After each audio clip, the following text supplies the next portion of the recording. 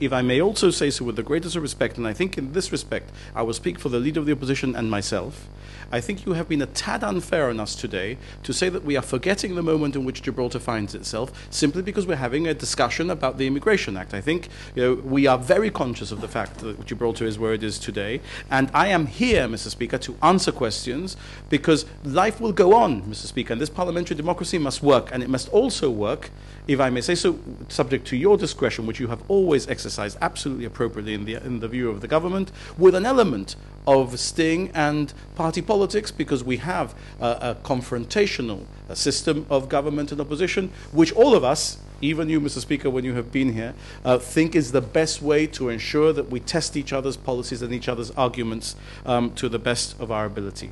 I don't pretend that I always get it right. I don't have the monopoly of the truth, and I do make mistakes because I'm, I'm, I'm only human. But I am concerned to see that the House proceeds, that 200 and something questions is a very large number of questions, and we are spending very many hours here. It's, a it's, it's our job, but we ought to do it as expeditiously as possible.